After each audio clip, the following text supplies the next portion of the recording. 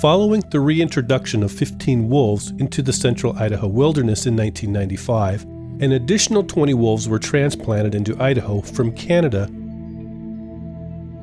The U.S. Fish and Wildlife Service wanted to make sure they brought enough adult wolves into central Idaho so they could pair up, set up territories, and produce young on their own, restoring wolves to the central Idaho ecosystem. The experiment worked extremely well. The central Idaho wolf population took off rapidly, just as transplanted wolves did in Yellowstone National Park. The central Idaho wolf population grew quickly to the official recovery goal for Idaho 10 breeding pairs, or roughly 100 plus wolves, in just three years.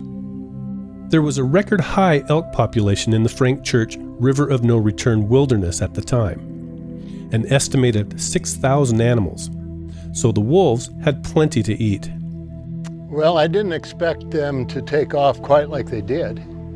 I figured that they would expand um, and do quite nicely because they, they had a food source and uh, so they would do well.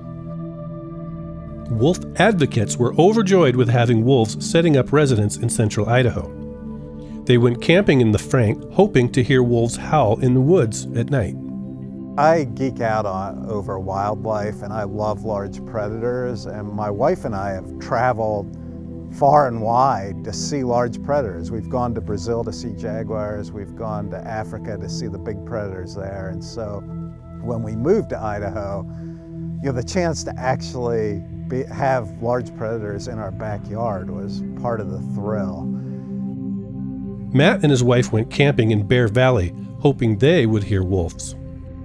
There were Chinook salmon literally splashing in the stream by our campground. There were elk bugling up in the hills, and I thought, what could make this better? And we climb into our sleeping bags that night, and all of a sudden, my wife said, Is that a siren? And we had grown up around coyotes. I'm like, It's not a coyote. And then, whoa, it's wolves. And just for the next 45 minutes, there was this deep howling echoing across the canyon. And for me, um, just being out there with those large predators, it makes the wild a bit more wild.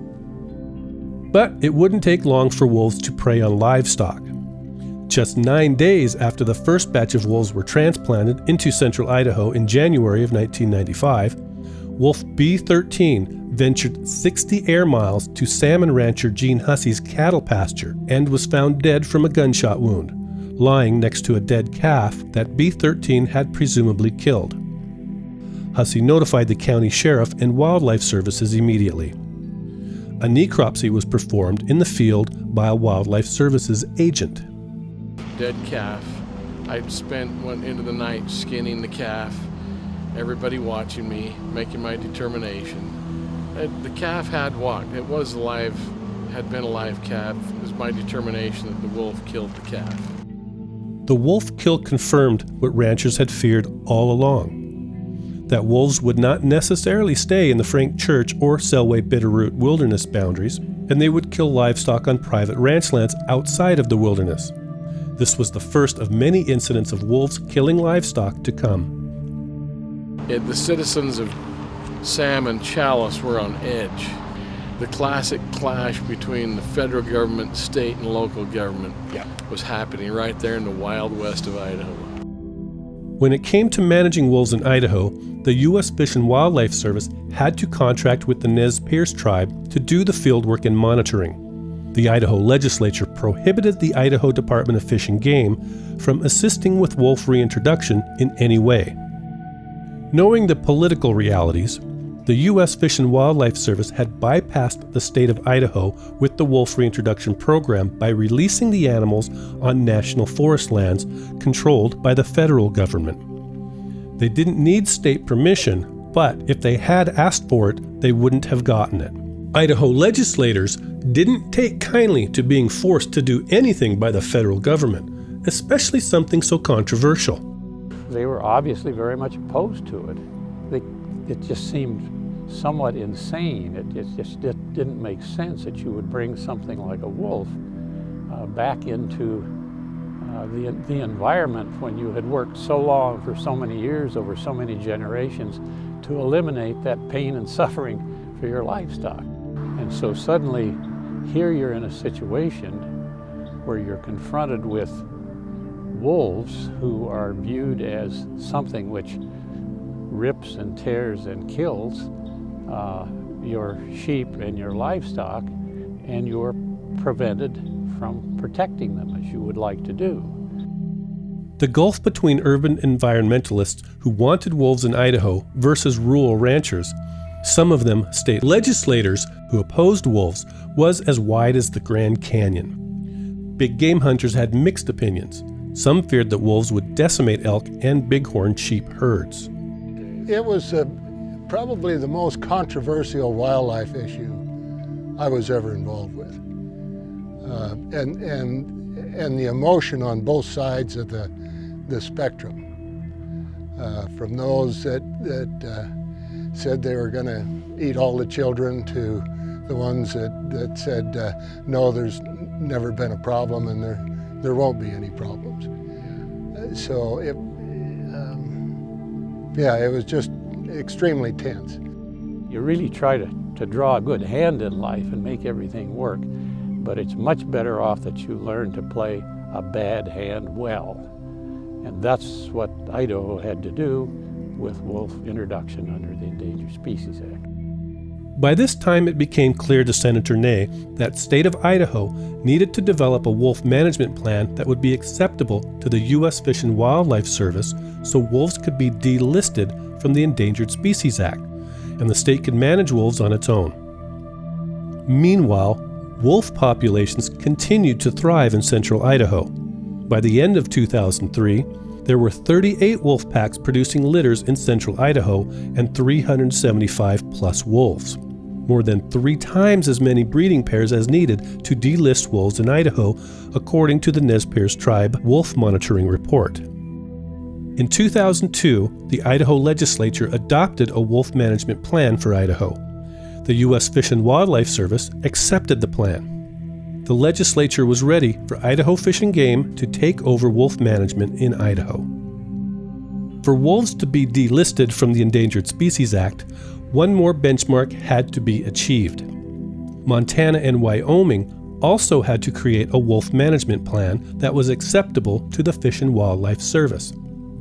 The state of Wyoming was slow in getting that done. By 2006, there were at least 673 wolves in Idaho and 76 wolf packs, according to an annual monitoring report by Idaho Fish and Game and the Nez Perce Tribe.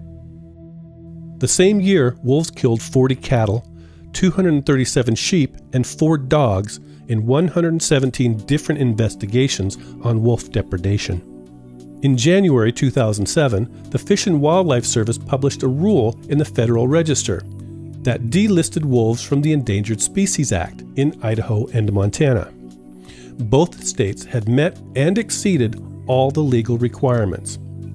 In response, a coalition of 13 environmental and animal rights groups sued the Secretary of Interior, contending that it wasn't appropriate to delist wolves in only Idaho and Montana.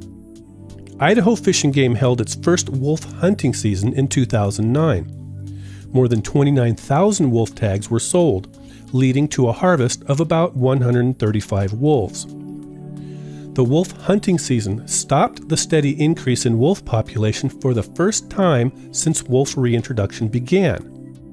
In 2010, a federal judge from Montana blocked delisting and halted state management. No hunting or trapping would be allowed. But finally, in 2011, Congressman Mike Simpson of Idaho and Senator Jon Tester of Montana attached a rider to an appropriations bill delisting wolves from the Endangered Species Act in Montana and Idaho. The congressional maneuver was upheld in federal court. Hunting and trapping seasons resumed in the fall of 2011 in Idaho. With state management in place now, Idaho Fish and Game could manage wolves as a big game animal with hunting and trapping seasons on an ongoing basis. It had taken 16 years to get wolves removed from the endangered species list. Wolf advocates had succeeded in restoring wolves to central Idaho in numbers far greater than the 10 breeding pair that the reintroduction plan envisioned. That was the camel's nose. And uh, there's no way uh, they could have possibly actually believed, Babbitt could have possibly believed that he could introduce the wolves into one little part of the Rocky Mountain West and that that's where they were going to stay. And so they're going to have to go out and establish new territory, and they knew that. What really happens? What's the unintended consequences? And the unintended consequences was the fact that after the introduction, even with all the denials, the population of wolves exploded, and uh, they, the, the federal government had management of it, and they weren't going to turn it over to the states.